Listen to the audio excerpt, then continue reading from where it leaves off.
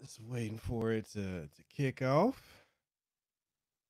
Man. Is that a gaming chair behind you over your right shoulder? Yeah, that's that's um one of my wife's sponsors.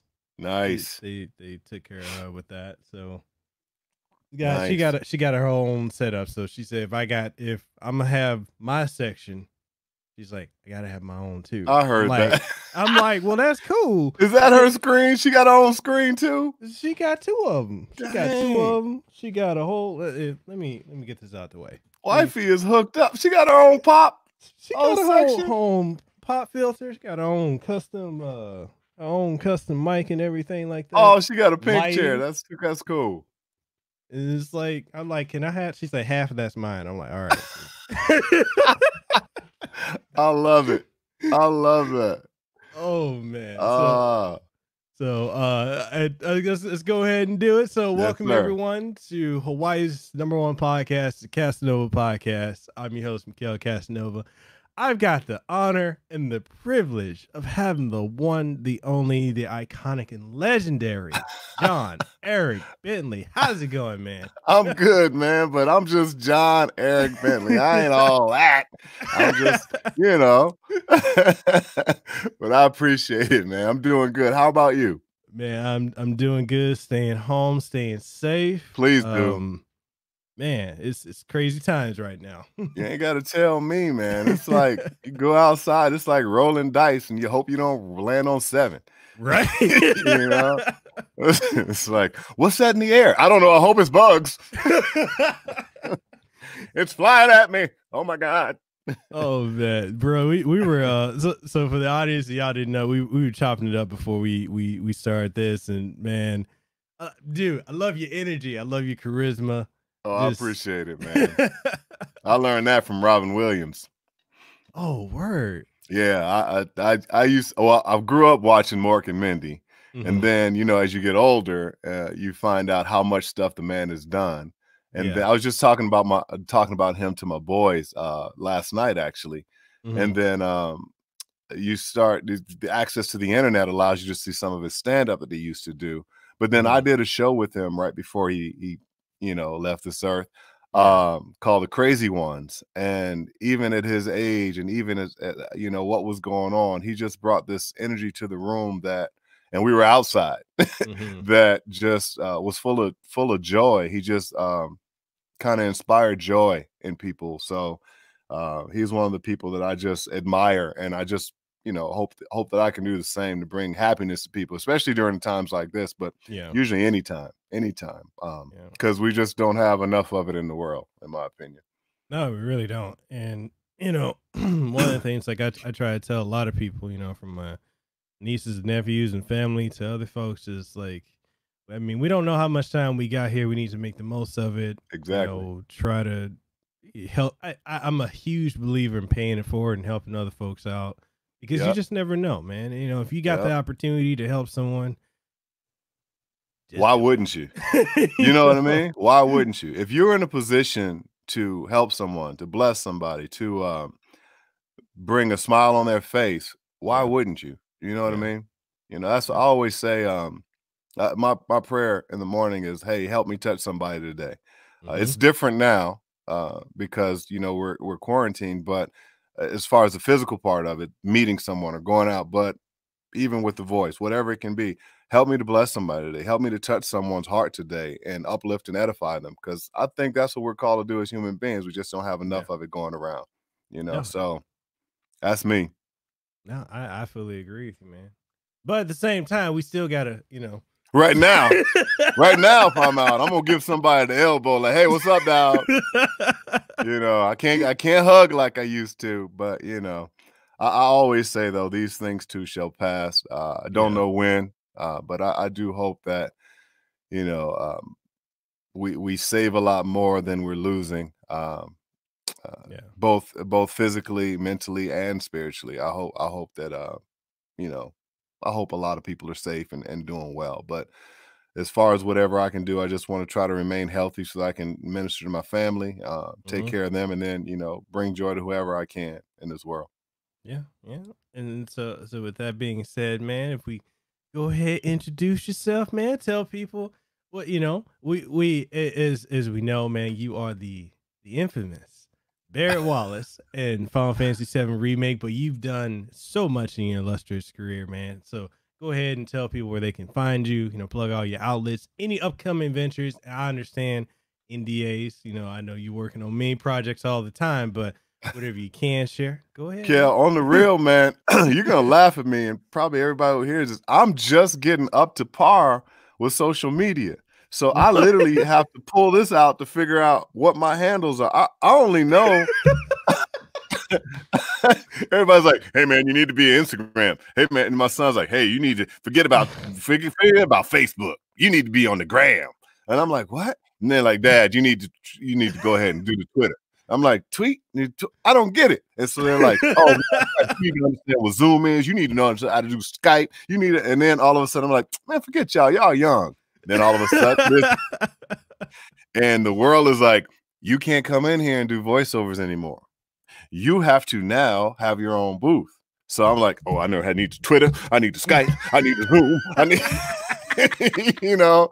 So they were all right, and um, you know, I guess you can find me on Twitter mm-hmm. under John Bentley or John Eric Bentley.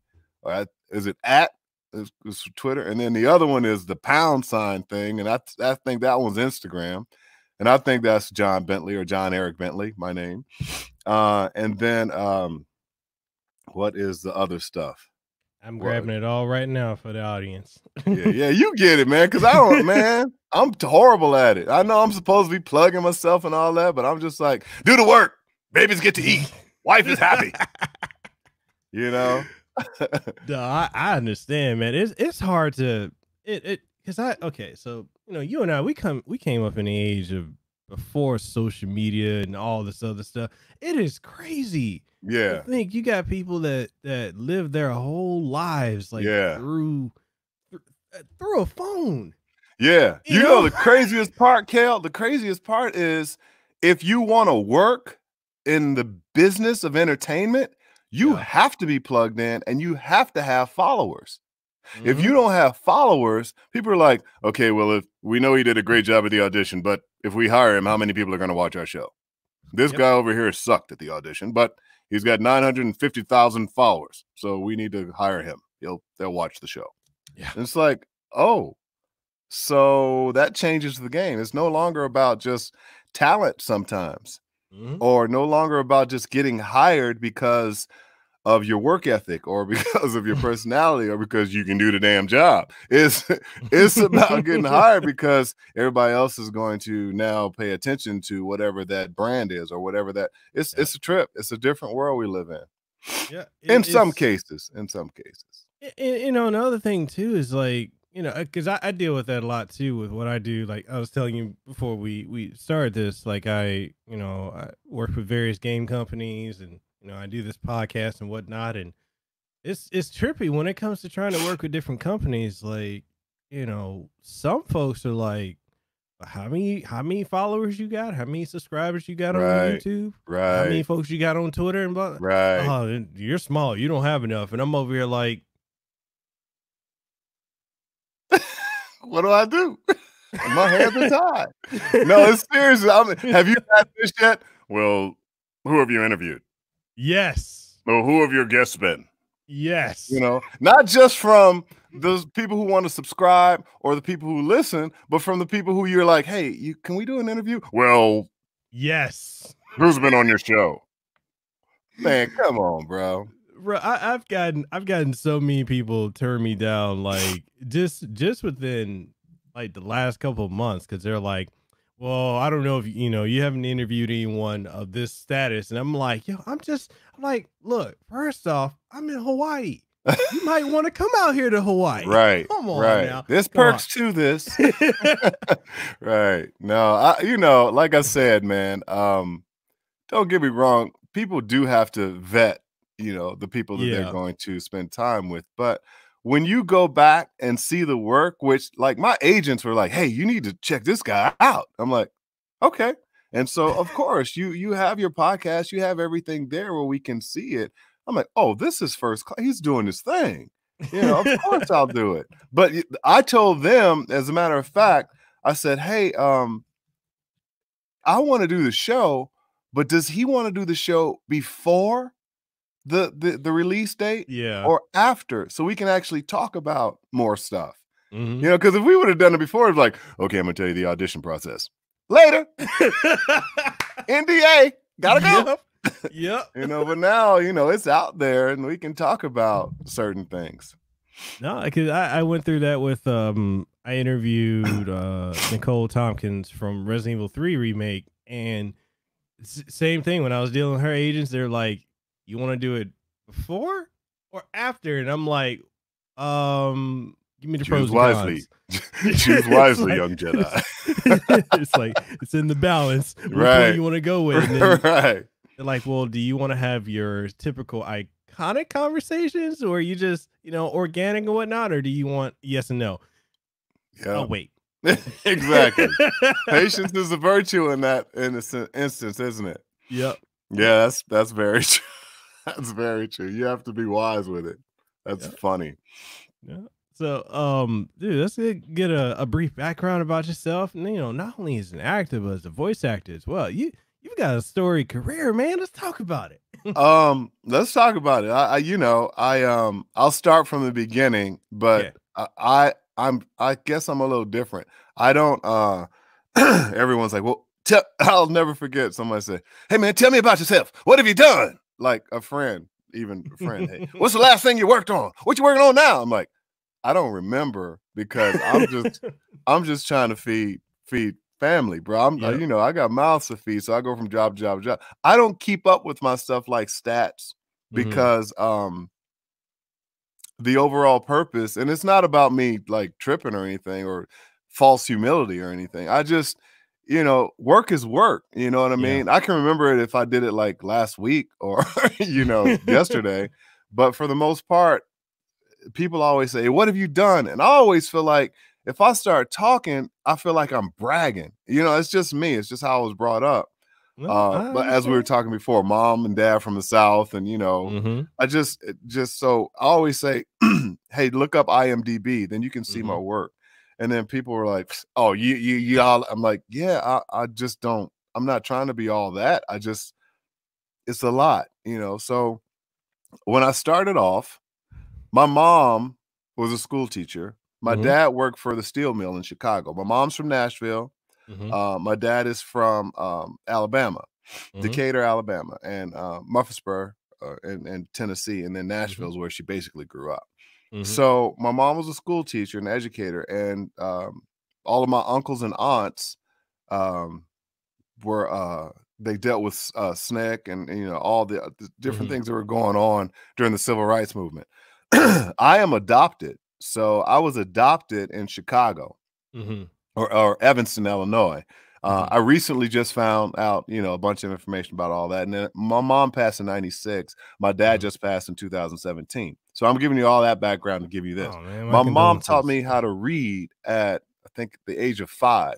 So by the mm-hmm. time I was eight, um, I had already read like the Iliad, the Odyssey, you know, all these different things. Yeah. Greek mythology was my thing. And I'll never forget my mom was like, I said, Hey, where's the next one? What's going to happen next? And she was like, that, That's it, baby. There's no more. It's Greek and Roman mythology. I'm like, There's got to be another one next week because I read comic books. Mm-hmm. Right.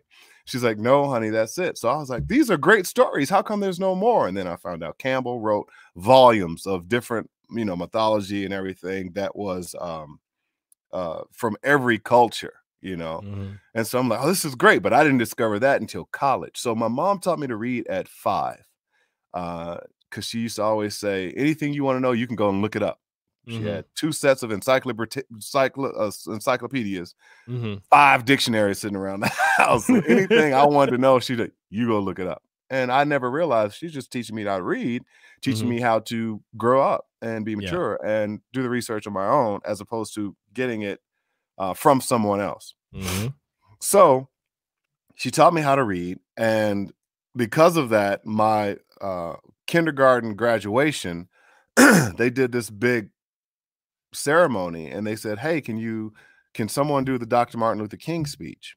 Mm-hmm. And I'm like, oh, you mean the I have a dream? And they're like, how do you know that? I'm like, well, my mom and my dad, and you know, I gave them the background. Well, my school at that time happened to be on the west side of Chicago in the midst of like where all the riots had taken place. Mm-hmm. Um, people were looting and burning things down when King had been assassinated. Um, mm-hmm. Um, that, that, was before me. I was I was born in '69, mm-hmm. but um, she said, uh, "You can do this," and I'm like, "What are you talking about? Uh, they want me to memorize all this. I can't." She's like, "I'll help you." I'm like, mm-hmm. "Okay." So we did it. Fifth, I mean, I'm I think I was five in kindergarten, six, six maybe, and mm-hmm. um, I got up to do this thing, Kel. It was like the audience, the moms and the dads and the teachers, the way they responded was so powerful to me as a kid because mm-hmm. they either cried or they wept, and I mean wept, not just mm-hmm. cry. I mean wept, or mm-hmm. they cheered, or they were happy, and the kids were like, "Oh, this is great," and um, I didn't realize the power in theater that you can move someone with a voice or you can mm. move someone with something that they were familiar to uh, uh with that brought joy or brought mm. happiness or brought peace so i was like this is great this is awesome so that was at that young age after that sports sports sports sports football basketball track everything else just sports and then i came back to um, theater basically in high school and mm. um, informative speaking or declarative speaking and all that. I'm like, oh, this is great. I forgot you can move a crowd, you know, you can. And so that that's what was cool for me. And that's how my background came up with acting and, and doing voice work and everything else. And then someone told me when I got to LA, uh, I went to school for speech, English, and theater is where I got my undergrad. I mm-hmm. got my um, graduate, uh, uh, my master's in theater. Mm-hmm uh, I had a football scholarship at the University of Minnesota, so I played football and then got my undergrad. And then someone said, "Hey, you know, you can get another uh, scholarship." I'm like, "Really? Free school?" And they're like, "Yeah." In theater, all you have to do is audition, and I did the audition uh, mm-hmm. uh, for the URTAs, Urban Urban Repertory Theater. Uh, mm-hmm. So I did that. Uh, got chosen by more schools to get a scholarship than I did for football. So I was like, "Oh, okay, I should have been doing this." A long time ago. So uh wound up staying at the University of Minnesota because uh the Guthrie was there. I'd already mm-hmm. been established. I was doing voiceover stuff with Nuts with Jan Hilton, who ran uh non-union talent service. Uh so uh, all these different things were happening. I'm giving you more of a background. I think even my wife knows. So so um I did all that and then wound up staying at the University of Minnesota, wound up graduating uh, from the University of Minnesota's master program. It was an uphill thing. That's a whole different podcast we'll talk about because I'm trying to bring joy. And, and um, and then uh, we did that, and then uh, wound up staying there, and then got married in '96. And I said, "Honey, you know, I'm from Chicago. We've done Chicago. Um, we're in Minneapolis and it's got a huge theater thing going. Uh, let's try. And I've been to New York. I didn't dig New York. In New York, uh, during that whole uh, audition process to get mm-hmm. to college and everything, I went back and auditioned for some soap opera stuff. While I was in the auditioning, well, I got a phone call that my mom was sick and she mm-hmm. passed. Mm-hmm. And so I my my relationship with New York is just oh my gosh, my mom died, and I was just wa- I remember walking all of Manhattan in the rain and walking when the two towers were still up. Mm-hmm. And I have no clue how I knew where I was going or how I got back to the hotel I was staying at. Um, it was just those memories just hit me from New York. So, but I went mm-hmm. out to New York. I've done work in New York. Uh, it's just that I was like, I don't know if I want to stay here because those memories come up, you yeah, know. Yeah. And um, long story short, again, I say that um Dude, wound up saying, "Hey, story." Yeah, yeah. I was like, "Hey, hon, let's let's see what LA is like. Mm-hmm. Let's go out there." We had just gotten married, uh, and I said, "Let's go out there." So we had, I think, a thirteen or fourteen day uh, round trip. We uh, just a ticket see what it's like. We're gonna stay with friends in Ontario, mm-hmm. and Ontario, I didn't know was that far from LA. So it's a trek. So, uh, but it, it, was worth it to me because I, you know, I'm always about the hustle. I'm always about the work. Mm-hmm. So my wife said, "Okay, I'm going to go home." We had just bought a house. We had just gotten married. She had just gotten a beauty salon. Um, I just we are just able to get her a car. Uh, mm-hmm. So all this stuff we're leaving, you know, I'm like, oh my gosh, I'm out here trying to. Okay, that's a heck of a wife. That's my ride or die. So um, mm-hmm. we wound up after 14 days I'm like, all right, I got cast in a in a show. Mm-hmm. Uh, Abdul Razak cast me in a show, and he's no longer with us. He uh he cast me in a show, and we did a two two. I was an understudy, mm-hmm. and then one guy didn't show up, and I wound up going on. And then shortly afterwards, I got a call from I had sent all my stuff out prior to leaving to mm-hmm. see if uh I could get a bite, a casting director, something, because mm-hmm. LA's big. And yeah, um, yeah. Monica Busy. Swan, yeah, yeah, Monica Swan, bless her heart. Uh, she was a casting director for Sister Sister, amongst mm-hmm. other things. The brothers, uh, and then they did their show. Uh, so uh, she said, "Hey, out of all those cards, I sent out probably 150 cards. Hey, I'm going to be in LA. Would love to meet with you." Da-da-da. One response. It was Monica Swan and she said, "Hey, come in. I'd like to meet with you." So we met. I think we talked for two and a half hours. Just mm-hmm. talk, just hanging out, just like what we're doing right now. And I wound up booking Sister Sister. I think a week later. Mm-hmm. No agent, no representation, just Monica Swan, a casting director.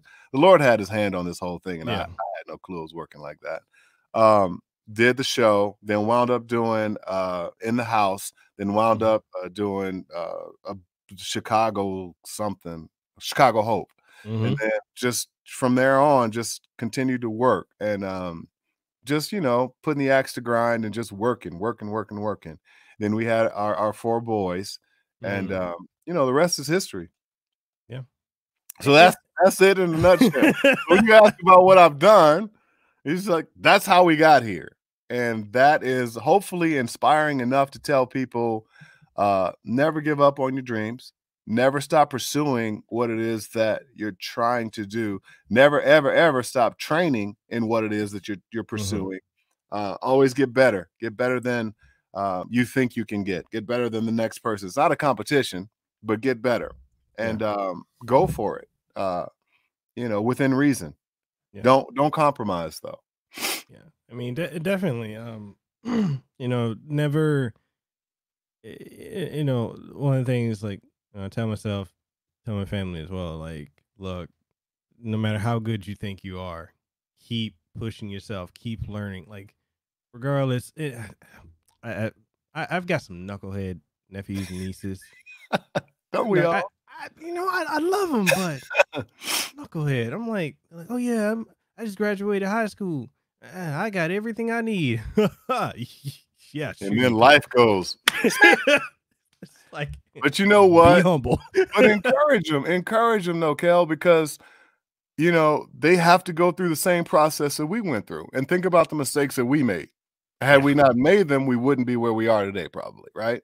Yeah. So encourage them, even in their mistakes, that yeah, I can tell you what not to do. My dad always said, "You'll never know what a man feels until you walk a mile in his moccasins." I never understood that, but it was very true, and I even now find myself sounding like my dad telling my kid you know you you you can't judge you can't talk about what you would do what you could do you're not in that situation and even i could tell you what to do in this situation but most especially my sons be like oh yeah whatever dad you know you, they got to go through it you know they got to go through it on their own to um you know either beat it uh struggle in it because yeah. you learn a lot through struggle yeah. or um you know just deal with it and come up with different solutions because in them going through it and you not helping them you can mm-hmm. give them advice i'm not saying that but you not helping them it allows them to get through it get stronger and then help the next person yeah it definitely it teaches them um and i feel like that's probably something i'm seeing a, that's kind of becoming a little bit of a lost art is you know, learning from situations and accountability. It, yes. It's just it's something. It's I run into a lot of people and they're like, "Oh, uh, this happened because this is this person's fault, and I can't do this because of this person." I'm like, "Yeah, point what fingers." Yeah, you? Yeah, I always say when you point fingers, it's like three pointing back at right? you. you know, it's very true, man. We live in a world that's uh so uh self-indulged right yeah. now um, and I just think there is there is a case for, uh, like you say, more accountability, but mm-hmm. also think that there should be more integrity. Yeah. Uh, you know, going around. Um, you know, there's there's there's, eh, but it's not being taught. And it's yeah. regardless of culture. It's just not being taught. Yeah. Um, you know, regardless of um, culture, regardless of creed, uh, it's just not being taught in this world. Um, accountability, uh, integrity, mm-hmm. um, humility, yeah, courtesy, empathy. Certain things just aren't being taught anymore. And so, you know, it, it's our job, uh, those of us who understand it and its power, to mm-hmm. at least uh, demonstrate it and speak on it. So, yeah you know, that's what we got to do. That's what you got to do to your, your your nieces and nephews now. yeah, I know it's it's a task, but it's all right. It ain't too heavy. You good? No, I mean, I, I I get a phone call or a text or a video message like, Uncle Kel, can you do this for me? And and I, I see you you got this, this, and this, and I'm like, well, son, I worked hard to, to get to where I am. Right, right. Like, oh, so you so yeah, you worked hard, so I don't have to. No. Oh, they, they actually said that. Yeah. Like, nah, bro, they don't work that way. yeah, yeah. And that's when you go, sit down, son. Let me talk to you. let me have a word with you. let me let me talk to you. that's so funny. Yeah. It's, it's, but yeah, man. So that's that's me in a nutshell. Uh, very very abbreviated. Um, you know, storyline on on the business end of mm-hmm. it. But uh, as far as as far as my work, it's all it's all on on most of it is on uh IMDb. I don't know who monitors that thing, but they they got a lot of it. They actually have some folks, a man by the name of John Eric Bentley, who was a writer back in the day, mm-hmm. white guy. They have mm-hmm. that on mine. I'm like, I didn't do that. I was three years old. you know, like, but uh, and I told them, I wrote them, I said, that's not me. You know, there's a big old picture of me, and then you see this movie called So Fine, and it's mm. about a mm. movie with some jeans with the booty cut out, and it's supposed to be a trend. I'm like, that's not me. I'm not in. That's I was a baby. So, but it's all good. You know, well, I mean, when you look at uh, you know, looking at your IMDb, man, your your career, you've done so much, and it's it's impossible to to try and keep up with everything you've done. And you know, I I've um you know, uh, y- your work kind of reminds me of my other friend um, that's in uh, in, in LA as well, uh, Gerald, uh, from, who he voices uh, Bison in, in Street Fighter. Oh yeah, yeah, yeah. Gerald, Gerald Rivers, real good friend of mine, real good friend. I, good. I actually got to go to LA last year for uh, the E3 gaming convention. I was there, man. Man, I didn't know you back then. Nobody did. No, I was there with my son Noah, and he got more of a kick out of it than I did. But yeah, I was there. It, it, it was a trip. Like walking around that convention, I'm like, man, that's that's a whole lot going on. And yeah, and I got a I got a call from uh from Gerald. He's like, he said, Mekel, how long are you gonna be out here? I'm like, I'm out here for four days. He's like, you oh. want some good? You want some good cooking? Some good food? I was like, yeah. He's like, come, come on over to my house. I was like, oh, cool. I, am I'm like, how far is that? Because I got, I'm like, I got my, I got my hotel uh, LAX. Right. you know, to the convention supposed to be 15 minutes. And nah, nah, not not taking in, not taking in consideration the traffic. Yeah, no, yeah, it's it's yeah, it's LA, baby. It's a trip, man. It's. Whew. How do you get used to that? Um, you just do. You know, it's it's a city where, you know, if you got a car, you're blessed. You can get to where you need to get to. Mm. If you got money to get gas, but but um, it's just it's just like that. It's one of the most spread out cities or states that I've ever seen. Um, and I've been I've been to some states, bro, and lived in several, but it's just it's spread out. Our downtown is not not like a normal downtown. Mm-hmm. You know, it's it's starting to become, you know, mm-hmm. but it's it's it's different. It's it's a spread out place and you you learn to get to where you got to get to. Now there's a train system, you know. There's a great bus system. Oh my gosh, it's mm-hmm. just really good. Even the train system is good, but it it's just spread out. You got to get used to it. But you're right. If you were at LAX and you were going to the convention center for E3, that's a haul. You had to yeah. rent a car. Yeah, you know that, that was uh we, we took Uber. And oh, there you go. That's that's another that way was around. Hour. Yeah, it yeah. It's this. At least you weren't driving it, right? But yeah, it's it's spread out. You know, it's uh they're long. there's a lot of traffic, a lot of people here. You yeah. know, that's why it's a lot of people. You think about it, LA, Chicago, um, New York, mm-hmm. Miami, uh, Miami, Atlanta now uh starting yeah. to come and then yeah. parts of Dallas, you know, Dallas is becoming pretty big. Mm-hmm. So you think about the number of people that are in these places, it's a lot, bro. It's a yeah. lot. But yeah, E3 was a big deal. And I just got back from um not just, but I got back from PAX this year, PAX East. Mm-hmm. Oh my gosh. And and some of the exhibitors didn't even show up and it was a lot of people. It was really cool to watch that.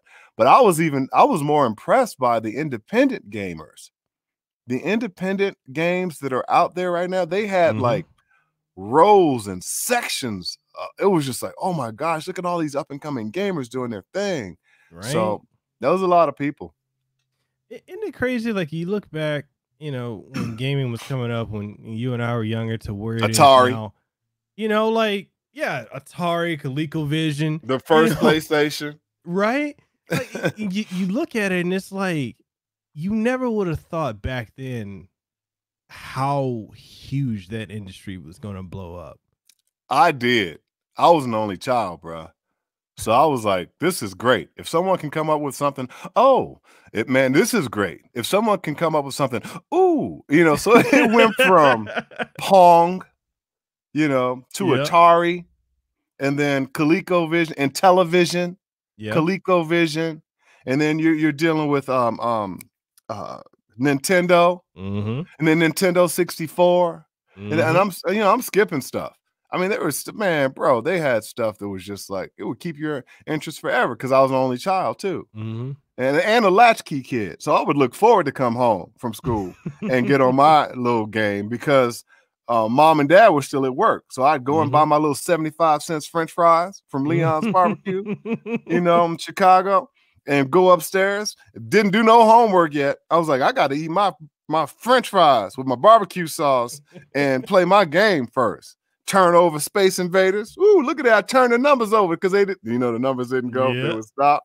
And then, yep. and then by the time I looked up, mom was almost on her way home. I was like, I finished my fries. I turned it over. I better look like I'm doing some homework. So I did all my homework. like I said, but then sports, they're just the whole different level of understanding how to get your homework done and not being able to play the video game anymore. Yeah. So, but yeah, man, back in the day, no one would think it'd blow up like this. My son Maxwell mm-hmm. is one of the smart. He's the smartest person in this home. He has been um, refurbishing and fixing all these gaming systems, all these phones, all these different things. He's like, "Hey, Dad, I want you to check out this thing called Oculus Rift." I'm like, "What is that?" He's like, "It's a virtual reality game." I'm like, mm-hmm. okay, let's go. And he's like, no, no, it's in my room. I'm like, what?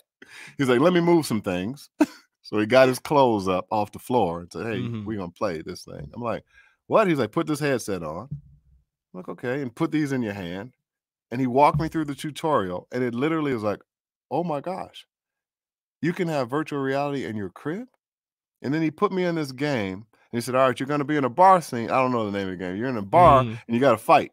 So I was like, what? And it came on. I'm like, hey, what's that big dude coming at me? And you know, I'm punching, and all of a sudden he said, wait, wait, wait, wait, wait, wait, wait. And I accidentally hit him. And I'm like, Max, what? what oh my gosh. And he's like, I told you to wait. I said, I couldn't hear you. The dudes in the bar were screaming. And And um, he was like, "Man, it's a trip, huh, Dad?" I'm like, "Yeah." I'm like, "Are you bleeding?" it was just crazy, man. So, so, so I'm like, I won't play that game anymore with my son around because I'm like, I accidentally reached out and popped him. Mm-hmm. And um, but the fact that he had this game in his room and it looked so real, mm-hmm. and now he's like, "Yeah, I got a new game called uh, what is it? Uh, Walking Dead. You can come in and play it." I'm like, "I'm not playing the other game in the room if you're gonna be in there because I love you and I don't want to hit you." And if it's Walking Dead and I know it's scary, I'm not playing it. you know. Uh, but yeah, so it's it's a trip where it's come, bro. Kel, it's yeah. come a long way. It's it's you know, especially you grew up looking at stuff like Tron and whatnot, to mm, think, which I loved. You know, oh, to, you get to be in a video game, right? you know, it's like to to think like we went from the little you know, the little pixels on Atari and ColecoVision to now we got characters that look realer than real life. I'm like, bro, I was playing Final Fantasy mm-hmm. and someone laughed at me. Who was it? I think one of my sons laughed at me. Mm-hmm. I was like, "What's so funny?" They're like, "You're not moving." And I said, "Oh, I was just looking at the environment and the mm-hmm. drawing, mm-hmm. the rendering, and how it was moving, and the hair, different things were moving, and then yeah. the music behind it. I'm like, this is one of the most beautiful video games that I've ever seen in my life and ever heard in my life. And I'm, I'm like, I get to be a part of this. And I just got caught up in it. And they just fell out laughing because they're like, Dad, you're not moving. I'm like, I'm sorry. It's just, it's, I'm humbled by this. It's just yeah. a beautiful game. Yeah. I mean, and, and just, you know, you look at what we, we, we saw the evolution of gaming from yeah. where it is to now. So, like, for us, it's like, wow. Yeah. You know, yeah, everything. literally. Dude, you got everything you have in details the, the dust, the rocks, yes. you know, the details in the hair. I'm like, yes. Literally. like, where am I? Who did this? Right? Right. Oh, it's easy. You can just no, it's not. That's just a miracle. yeah. Like, oh, the creators, uh, and they're just getting better. Yeah. You know, and it like you know, when you look at games, just straight CPU games, not even console games, mm-hmm. some of the stuff they're doing is so innovative. Oh, mm-hmm. bro, just the coding that people are doing. Uh, my son Maxwell, he's making a game right now. I'm like, mm-hmm. oh, just turn-based games and all these different t- point and click games and even the games that I play because I, I, love these games. I think it's Big Fish mm-hmm. um, does these games where you have to find the hidden objects and and you would think, oh, this is great. We'll find the the the, the game. You'll play a game. like which which side can you spot the differences and stuff like that. Mm-hmm. I like those kind of games because they they you know build your mind and everything and memory mm-hmm. and but now they have these games. Big Fish does them, and you don't just find the hidden objects. There's a storyline behind it. Mm-hmm. And it's a through line and a good. Some of them are very, very good. And it's like, oh, and the music behind some of them is really good. It's like, oh my gosh, this is a point and click game, and I have been playing for three hours. you know, I discovered a whole lot during this quarantine. Yeah, but yeah, um, it's just amazing what people are doing. You know, yeah, and, and you look at the amount, you know, and it's one thing like with this show, I, I try to to bring a lot of awareness to people who are not only into games but you know movies and whatnot and more. There are so many people behind these projects. Yes, so many teams. Like for uh for Resident Evil Three, you know when they were in the process of starting that up, they kept coming out here to Hawaii. I worked with Capcom Japan. I worked cool. with uh Ruben Langdon who does Dante from Devil May Cry and, and oh, I just got Fighter. five. I just got started five. Ooh, how you Hooked. liking it? Hooked, hooked. That and I just started Yakuza. I need to really stop starting games at the same time. Hooked. haven't even finished Red Dead Redemption. Haven't even finished Spider Man. Haven't even right? just so much. Just hooked. I'm just hooked it's just it's crazy like getting to work with like the audio team the, the, visual team and the voice acting cast like yeah. so many like when i you know on top of you know when I do the reviews for stuff, like I get comments from people saying, "Oh, this game is lazy. Oh, they didn't put any effort." I'm like, "Are you serious? Like, can, yeah. can I virtually reach through the screen and pimp slap you? Yeah, like, come, like, come on now. No, you have no clue how much went into this. None, yeah. none. Especially for the voice actors. Like for you guys, how many times you got to redo lines and oh yeah, like, okay, that's good add yeah. this little bit to it like right. Or you know what? That didn't sound right. I didn't like that. I, or that wasn't the character. Let me so many different little details that we have to pay attention to. And depending on whether you're doing a game where you're the mocap artist so mm-hmm. you know what you've done and what you've said in it or depending on you, your voice has to match what's already been done Mm-hmm. Those are you, there's so many details that go into it that most people don't um, understand. I look at some of the comments of you know uh, people what people post on social media, and I always get get a kick out of it. I I can never take it personally when it's mm-hmm. like you know offensive because they just don't know, you know. And people are like, "Yeah, you should have," and I they need to, and I can't believe Square Enix, and I didn't. It's like you all have no clue what goes on behind this. You guys are just the consumers right now going, yeah. gimme, gimme, gimme, gimme, and not understanding the process that this takes or the length of time that this mm-hmm. takes. So just appreciate the fact that someone is making a game that you'll enjoy. You know mm-hmm. what I mean? Uh, if you give it time and if you just stop being negative. But I've also found, especially raising boys, mm-hmm. that social media is the breeding place for people who talk smack who would never talk smack in real life. Oh, face to face. No, not, they're not about that life. no, it is what it is. Like I said, my folks are from the South, but I grew up in Chicago. So it's a whole mm-hmm. different mindset of, oh, oh, and then I was an athlete. So it's like, oh, you're just saying that because you got to, oh, you're scared lined up against me. I get it. You know what I mean? So yeah. it's just like, oh, mm-hmm. it's whatever. Uh, I, you, uh, you uh. just, you know, live and learn. I, I've had some run-ins, uh, you know, some situations with different people that have said some things online, and when I see them, they're like, "Oh, oh, uh, I, I didn't mean it like that." I'm like, "You sure?" Because you no. You hit, the first you... thing they tell you, Kel, the first thing they tell, "I really love your show." Right, right, right. And then they do that, and you go, "You said what? What did you tell them?" I was like, "You sure?" Because you know, you had all you had the caps lock on, and you, you were typing that keyboard pretty hard there. We are there, banging it out. yeah, you make me sick, and I can't believe you. You're from Hawaii, and I don't. And then you see her like, "Oh hi, can I have your autograph, please?" See, uh, I, I am telling you, like this, the social media age, man, like it's different. It's, but that's that, you know, that's where I tell you some some of the selfish stuff is bred, and you know some of the negativity yeah. and you know, it's kind of like, oh, you just did that because you thought it was cool to be. I saw a great post. A friend of mine, Kaylee, wrote, uh, I think it was Kaylee. She wrote something like, um, oh no, it was Amber. It was Amber. She mm-hmm. I love that woman. She's great people. She you should meet her. She's a podcaster too. I'll try to send you her information. But she wrote okay. something like it was uh it's not it's not cool. I, I'm butchering this, but uh it's not cool to talk smack. What did she say? Uh, it's it's not always eh, just because you talk smack doesn't make you popular. Yeah. Basically. And I was like, that's a really good that's true. People think that controversy brings uh followers or interest or um whatever. Mm-hmm. And it's like, you know, you don't have to be a shock jock to get attention. And so that's what I'm finding is like gimme, gimme, gimme, me, me, me, I, I, mm-hmm. I, my, my, my. I, I've, I've, I've very I don't like hanging out with folks like that. That's just me yeah. though. No, I I'm the same way, man. I I um it's funny, everyone wants to be Howard Stern in a way. They they want right? that that controversial attention. And it's like the thing is, like I, I I see people like striving for that. I'm like, you do realize that if you start this, you're gonna have to keep that up.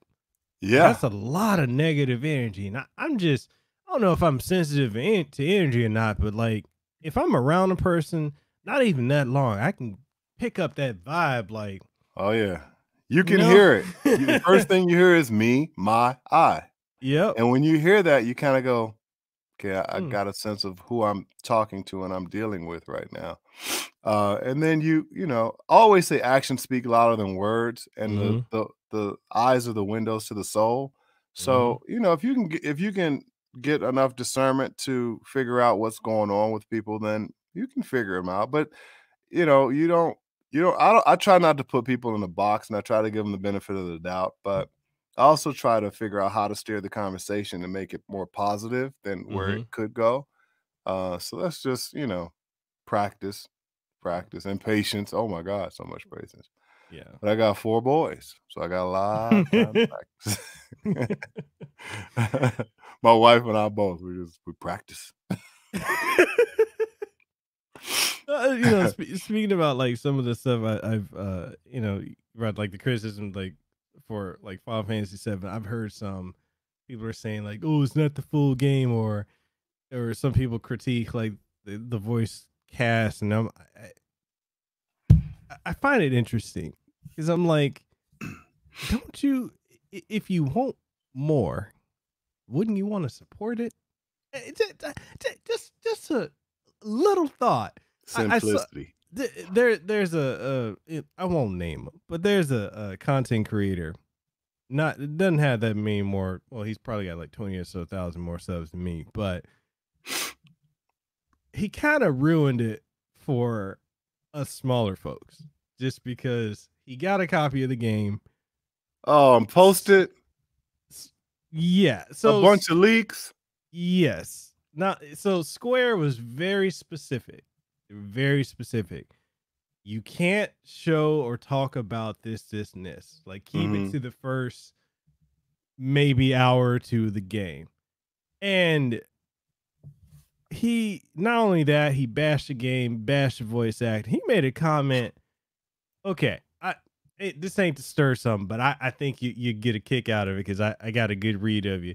So he he he he bashed the voicing of Sephiroth, Cloud, and you. And and for you, he's like, well, Barret sounds like a white guy trying to pretend. To oh, I black. heard that. That that was before.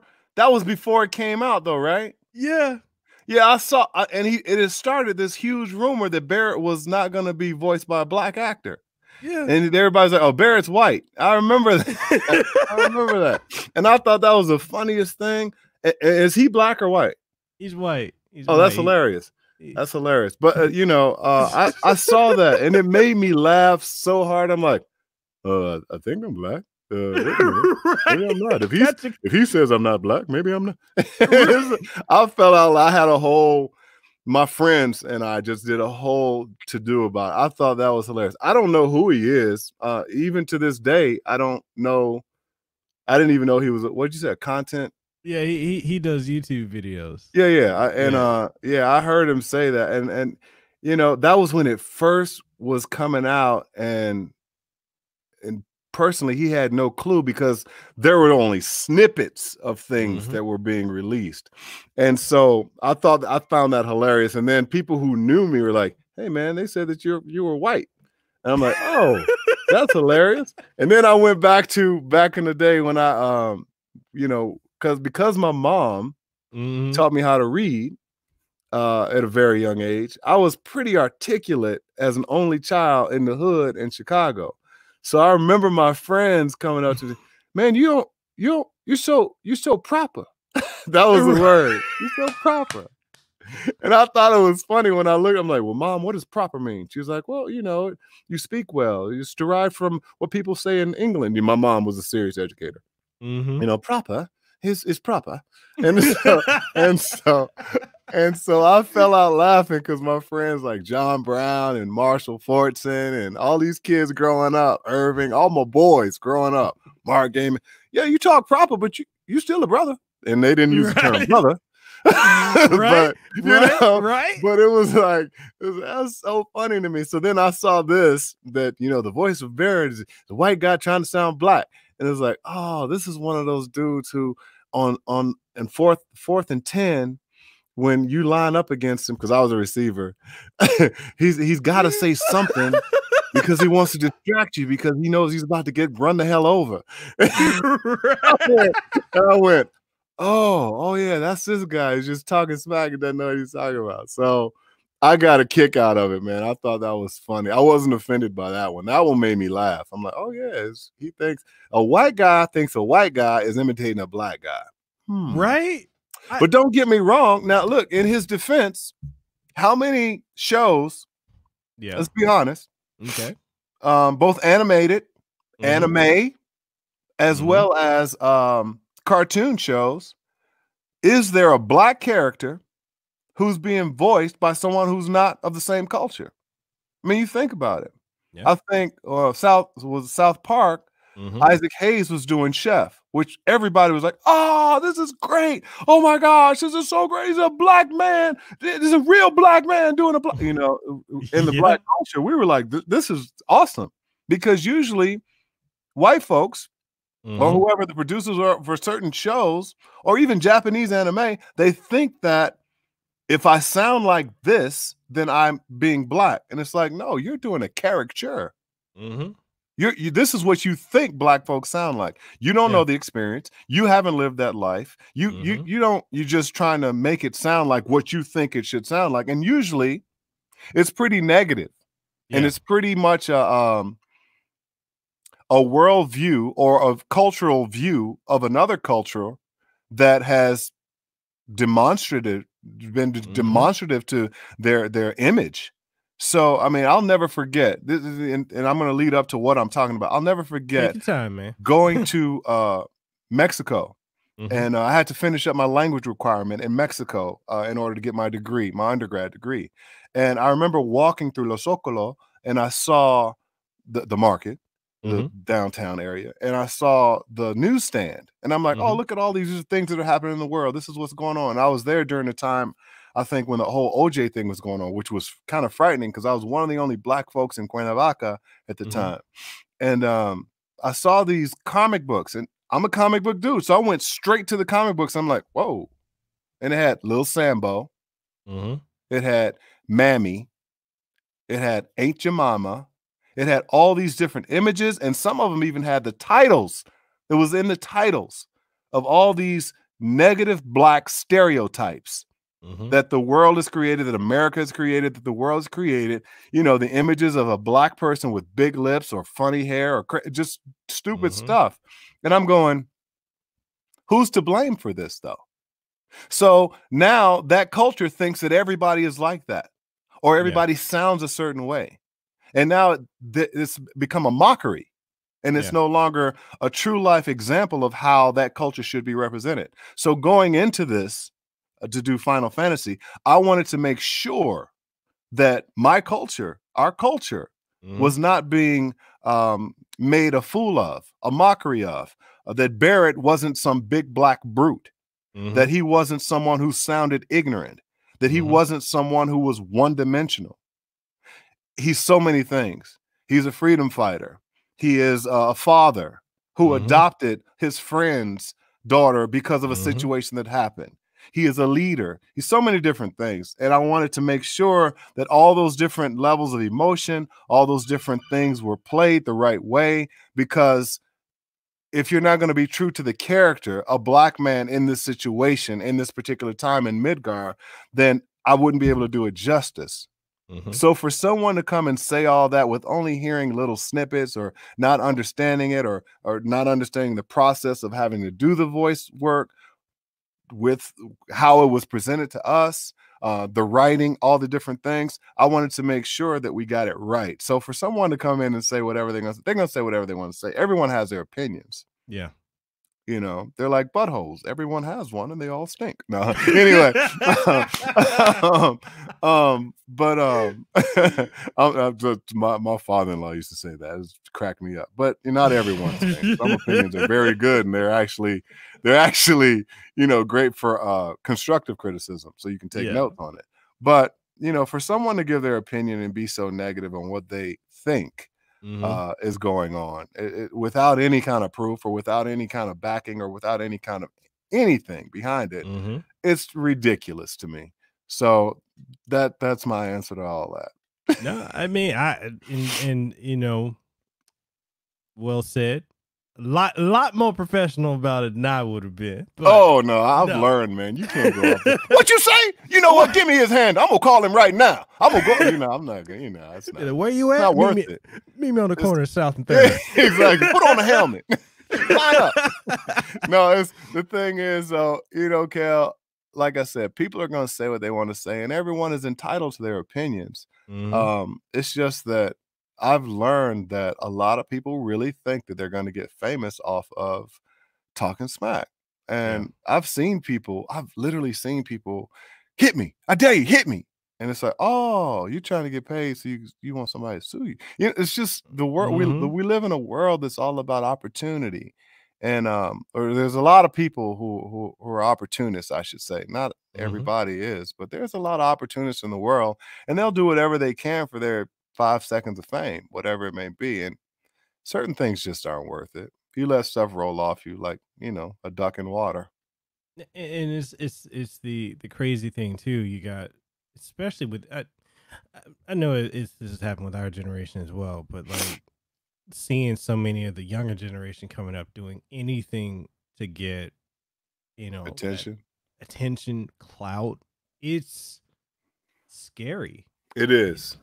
That's why I say don't compromise. Yeah. Especially if you're going to try to do something in life that you love and mm-hmm. can be a means of a profession for you, don't compromise.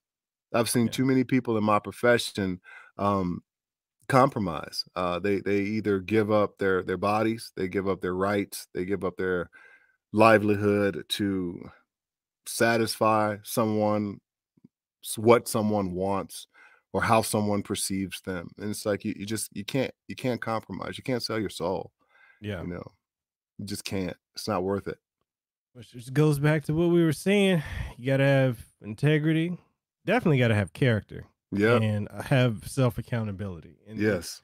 I know it's i know it's you know it's a different time and, and can be trying sometimes, but you got to really think about who do you want to be? What kind of true? What kind of you know role or role model do you want to? It, well, sometimes a lot of people don't realize that we're role models to somebody. Mm-hmm. Regardless, someone's so, looking at you. Someone's looking up at you, mm-hmm. up to you. Yeah, it's true. Very true.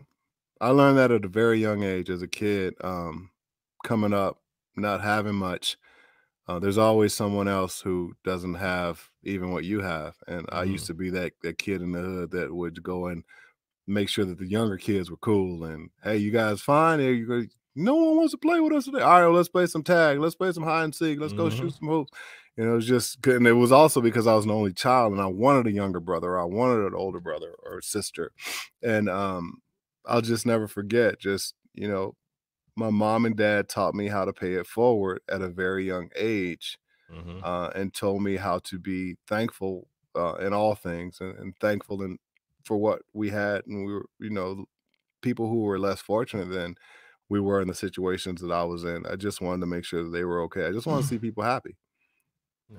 And, you know, and just, you know, coming up, I, I know for myself, like coming up from the hood to where I'm at now, you know, I have such a air of appreciation for what I have. And mm-hmm. it's like, you know, when I when I do go back to Memphis or I do meet other folks there and they're like, Man, I wish I could do this. Anytime I hear people say I wish I could do this, I'm like, what's stopping you?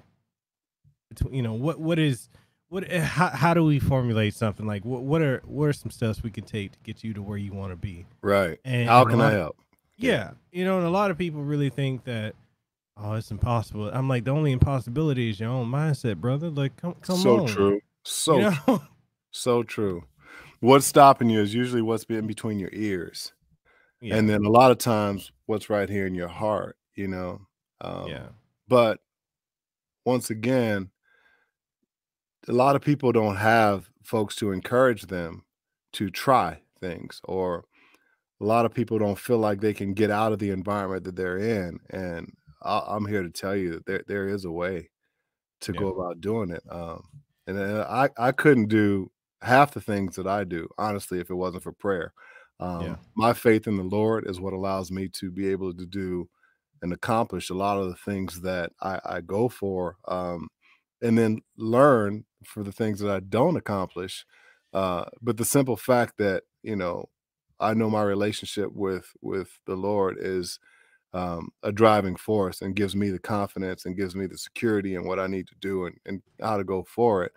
You know, I rely heavily on prayer, heavily yeah. on prayer. My my dad always said, um, you know, prayer changes things, and and I've I've seen that happen. Yeah, it it is it's it's it helps you know, especially going through times like this. You know, yeah, to to you know you can pray and you know just have that this too shall pass. Yeah. And i know a lot of people have this mentality no it's gonna get worse it's gonna get it i'm like no no. This too shall pass. And you there's a silver lining in almost everything. You know True. i know we, we were talking about this before you know we started the soul show and honestly I know a lot of people are upset, angry that oh I gotta stay home, oh I gotta do this. I'm like, for a lot of them, I'm like, look, what is it you have wanted to do, but you didn't have the time for? Right, right, right. Like, oh there, man, there's about to be so many self-made billionaires that come out of this Yeah. So many people that come out with innovative projects that never were able to get done or didn't have time to do that they're going to be able to do, or so many mm-hmm. inventions that come out of this. Um, I really do believe there's going to be a lot of entrepreneurs that are birthed from this crisis. I had a person tell me a 90 year old guy who was a survivor of you know the Nazi prison camps mm-hmm. said to them, "Hmm, it's tough situations we're living in, but yeah. if I can get through what I got through and survive, we're gonna be all right." Yeah, and that hit me so hard. this dude was in uh, Auschwitz and he survived, and said, "If I can survive that, I'll be fine here." And he's much older. Yeah. So I'll be fine through this. And um that hit me and it put things into perspective. And it and it honestly made me go, let me stop trying to rationalize things and just do what I know to be is right. Let me stay mm-hmm. in this house, protect my family, make sure that they stay in the house because my boys are restless right now. They want to. We should. We can we just go for a drive? I have no problem with you going for a drive, but just don't get out and go hang out in places okay, okay. You know, so there's different things that, you know, I was like, okay, well, let's all go on a drive. Let's go to the, to the beach. We're going mm-hmm. to the beach. Yes, we're going to drive PCH and we're just going to look at the sunset. Okay, okay, okay. So there's ways to do this, but you got to exercise wisdom during these times. Mm-hmm. You know, because my biggest thing is, yeah, there's a lot of things that I want to do right now, but there's a whole lot of things that I want to do in the future. And doing something right now will compromise my life to be able to not do it in the future if I do something stupid right now. So that's where my head is with it. And that's what I try to tell my, my boys. I want to see you around. I want to be here to see your grandchildren. You know, so you know, you know when, you, like, when you put it in different perspective, it it changes the mindsets. Yeah, definitely. And it's like, you know, when you everything that you do now, you know, try to make sure you the steps that you take now, the, the, actions you do now, make sure they line up to something down the road. That and, will allow you a future. Yeah.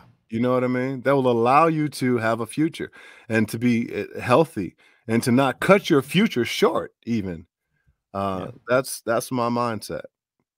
And you know, I, I wanna definitely talk about more stuff with you, man. How how much time we got with you? We, we I told you we got to do this again.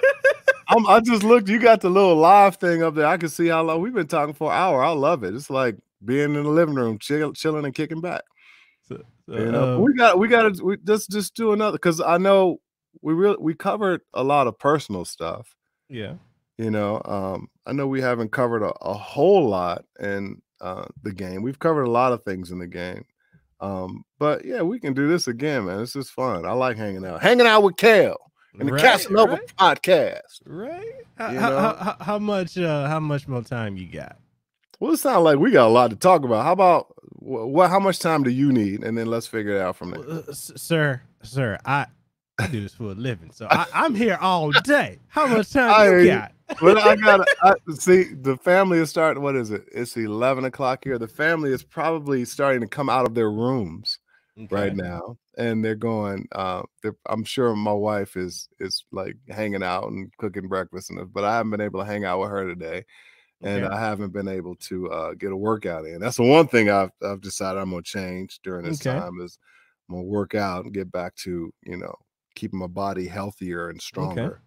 Um, and so I, and I, I want to walk the I, I, walk with my wife. We get to pray and mm-hmm. walk at the same time, and we get to catch up on hey, what's going on. We get to walk a little bit, not too far from the house, mm-hmm. and um, you know, I just gotta, you know, I got things I gotta get done. okay, okay. you know, but you know, I'll get. You want five more minutes? Is that enough time? Uh, I, I had, we... no, I had like three more questions. Oh, and, let's let's knock out the questions. We, we can roll with it. And then uh, we'll reschedule for another time to come back on if it's okay with you. Dude, gotta have you back on, man. I'm loving this energy. I'm loving okay. this energy. Okay, well let's do the uh, three questions. Okay, okay. So we're gonna we're gonna hop uh, before. So I, I want to give a special shout out to to Studio Nintendo and Alvedon Smith and none other than Talos for the donations and super chats. I appreciate it. It really helps keeping the show going. Thank y'all. I, I appreciate y'all for that. Um, so so the questions, you know, when you got, how did it feel when you got selected for the role of Barrett in Final Fantasy VII remake? Like, was that surreal for you, or felt like a kid on Christmas morning who got everything that he asked for? Literally, I jumped up, danced, did circles. My wife was like, "Calm down, calm down." I'm like, "You don't understand. This is a game that I grew up playing. This was the first RPG. There, a black character in it that I can yeah. relate to, and he lived. He didn't. he didn't die. you know, he was a leader, and you know, um, so I was beyond thrilled. Just I didn't know how big at the time. Mm-hmm. I still um a buddy of mine, Alex Main, who runs KoopaCon conventions, which I if you ever get a chance to go, you gotta oh my gosh, best crowd in the world uh, at conventions. But um uh, he uh, he told me, John, you have no clue. You have no idea. You have no clue how big this is. Yeah. And I'm like, well, every time I see him, I go, you're right. And it gets bigger and bigger and bigger. I just, I never realized that the world loved this game like this, like like mm-hmm. I did in my little apartment in Chicago. You know, I mean, you know, not in Chicago, but my, my my little little apartment when I got married to Michelle. It's like, this is a great game. You know, this is awesome. oh, finish it in a day. You know, I never realized it was going to be um, I never realized it was going to be this big, and it's it's overwhelmingly humbling. Mm-hmm. Uh, and I'm excited. I'm still excited about it. And uh, so I, I, still am that little fanboy running around the house going, "Oh my God, look at that! Just you can dunking basketball on Atari, mom." you know. Uh, it's crazy because like my, my wife has been uh she's been streaming the game uh I think she's done like two or so streams and she's gonna do another one today and she's mm. like Mr. barrett Mr. barrett I'm like why are you calling him barrett she's like Mr. barrett I'm like okay that's cute that's really cute uh, we were um, at a we were at a KoopaCon in London mm-hmm. and um uh this this group of three people. They were sitting mm-hmm. on the side and they're like, "Hey, we just wanted to come up and say, hey, we really love you, and we did it." I'm like, "All right, cool, thank you very much." She's like, "But we," the one girl didn't come up, and she said, "We have a friend, mm-hmm. and she's extremely shy, and she wants to say hi, but she just doesn't know how." And I'm like, "Well, okay, just I'll, I'll go say hi to her." So I walk up, and she's such a she's a reminds me she totally reminds me of my niece Stella and mm-hmm. she's just just this slight little beautiful girl just she, and she's just and she's crying and I'm like why are you crying she's like ah oh, because I meet you and I'm like I've never been in that situation where someone mm-hmm. has cried you know you know because of who I am like and I just I so I I said is it okay if I just hug you and make sure you're okay because she literally I she was trembling and I'm like it's, it's I'm just John it's me. And I and I held her and, and, her friends were there and I said you guys come on in. We hugged all of us were hugging. I said are you okay? She's like I'm fine. And then she went on to tell me the story. Barrett growing up playing this and she was young mm-hmm. growing up playing this my father introduced me to this game and mm-hmm. Barret is like my father and so all of these relationships that he had with Marlene were like his relationship with me. Mm. And so to meet you was humbling because my and I'm like, oh my gosh, whole different level of why are you crying? Mm-hmm. And I just reached out and I grabbed her again. I said, I'm sure your father would love to know that you love him that much and that you care for him that much. Please make sure you tell him that. Please mm-hmm. make sure that you know. And so it turned into a whole different healing process for mm-hmm. her as as well as for me because I had just lost my father two years prior to, less mm-hmm. than two years prior to. So, you know, it's stories like that that just make me go, "Oh, wow, this is way bigger than just the video games, just the character." Mm-hmm. The fact that you know I was blessed to be uh, chosen for the role. It's just mm-hmm. stories like that. They make the world go around for me, man. Yeah.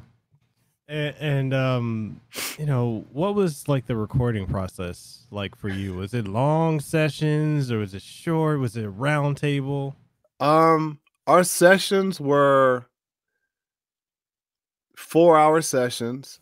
Mm-hmm. Um, I, I don't remember how how uh when we started now, we it, there was a lot of sessions, mm-hmm. a lot of sessions. We got a lot done in our sessions though. We're, I was very focused. That unbelievably, unbelievably talented directors, uh, mm-hmm. audibly, visually, just unbelievable. We had writers that were there, um, mm-hmm. the translators that were there. Um, they were the sessions were intense, but I was able to adjust to them because of my experience, I guess. Mm-hmm. But they were way far more intense than what I thought. I remember the first sessions, I had to listen to the Japanese, do the lines in English to camera, to, mm-hmm. to picture, because it had already been, you know, mm-hmm. um, mo mocapped.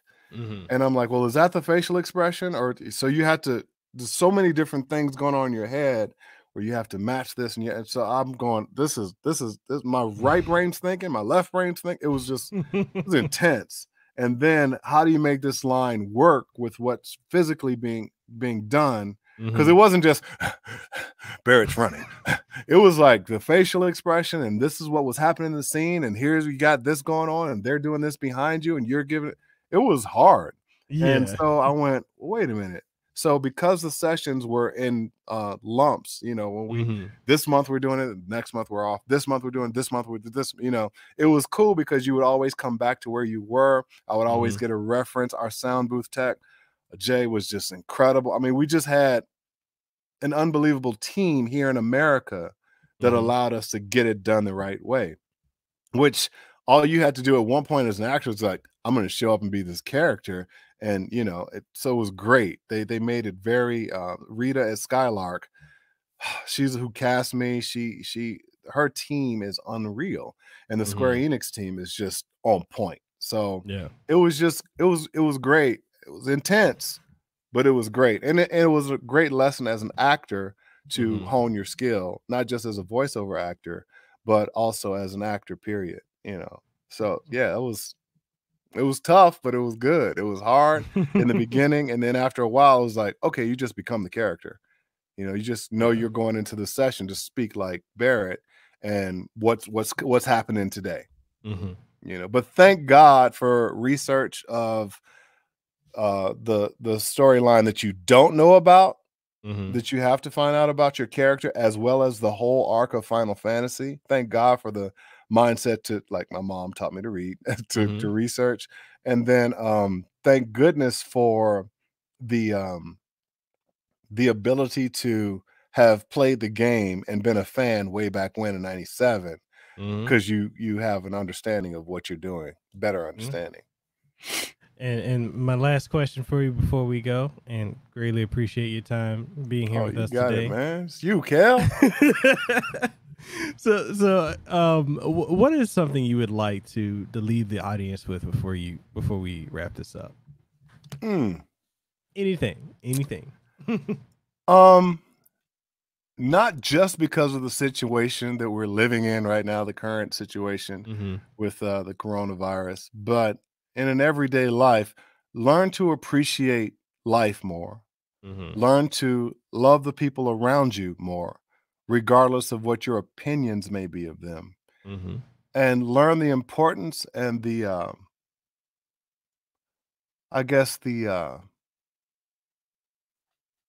the way joy mm-hmm. can be given and taken and given again from the next person to the next person to the next person and just try to spread that as much as you possibly can because right now we as a people uh, are resilient and fighting things uh, to survive.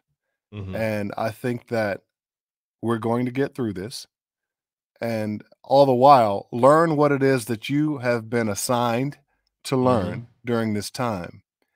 And um, become a better person during this time, not just for the benefit of you, but for the benefit of everyone else. Definitely. And I lied. I actually got one final question for you. okay. Go ahead. Did you have fun? What, what hanging with you? Yeah. Oh my goodness, man. if people would have heard the conversations that we had prior to coming on live, you know what I mean? It would have been like, yo, it's, it's, I'm, yeah, heck yeah. I literally, man, when when I feel like I'm talking to someone and they're in my living room or I'm in their living room kicking it, mm-hmm. I had a good time. I had a All good right. time. So I, I I can't wait to do it again, bro. See, I'm serious about that. I'm not yeah. just I'm not just saying I'm serious about that. We, we got to do it again. We, we we definitely gonna connect on this. And if and I come, if I you know when you got a place we, to stay when I we can when we can fly again. I, right? I, don't know about you, man, but I just saw um this these funny memes of someone said this is why I don't fly. And they mm-hmm. showed this dude, you know, the, the screen where you can watch a movie. They showed yeah. somebody's foot doing pushing the buttons and dragging the, the movies. And I'm like, ooh. you know, flying, you know, like I'll be glad when we get back to flying. Wait a minute. and, uh, right. Uh, but you know, if I yeah, ever wait. get back, if I ever get to if yeah, right. I'm like, if I ever get to Hawaii, you know, I'm I'm hanging. I'm hanging. We get to meet in person. Hey, well, you got a place to stay, man. Like anytime you come out here, hey, appreciate it. Fine. Then and, we do a uh, podcast and get all them creative content people mad. Oh, right? they're not really black. but uh, before we go, the audience wants you to do a line from the game, if if you if you if you don't mind. It's up. oh wait, wait. First of all, are people listening live right right now? Yeah. Do you have like a number? Uh, of people. Yeah, listening and tuning in. Uh, twenty five right now. 25 people. Hey, y'all, 25 people. Much love. Thank you for tuning in to the Kasanova podcast, hosted by Kale Kasanova. Yeah. Um, I'm giving you, I'm, I'm doing your commercial. Right. but thank y'all so much. But yeah, what what line did they write something they want me to say, or is it um, something from the and don't be like, yeah, what was your favorite line? There's a lot of favorite lines in this. One. A lot. So I yeah. think, um, but I'm not um, calling anybody an MFer because everybody is asking me to call them an MFer. I don't understand that. Is that's never been part of the game? No, no. Why are people? People are like, yeah, can you call me an MFer? I'm like, what? No. and then I was like, well, maybe they think that it's because of the Sam Jackson stuff that I've done. Oh, oh, oh, oh. Nick Fury. And I'm like, no, uh, he doesn't call people MFers even as Nick Fury. So no, I don't know where that comes from. But anyway. I think it's uh so the line I see some folks want you to do is the that's a long that's a long one. Just gotta type it. it's like the pipes this pipe's sole purpose is to suck this planet dry while you eat, while you sleep. Oh, they want me to do that's a while long you eat, one. While you Yeah, that, that's the one they want me to do. Yeah. Uh, now, uh, give me give me something shorter because I don't have, unless you can type it. Can you type it to me? Uh, yeah. Well, yeah. Is that where really, it says chat? yeah. But it's they, super long, huh? Oh, there it is. Ultra gamer. this pipe's sole purpose is to suck this planet dry while you eat, while you sleep, while you shit. that's when he. That's when we're talking about the Mako. That's yep. when. Uh, yeah. Okay. And who is this Ultra Gamer? Yeah. Uh, I wish I could say hi to them. All right, Ultra Gamer, this is for you. Uh, cause Kel told me to.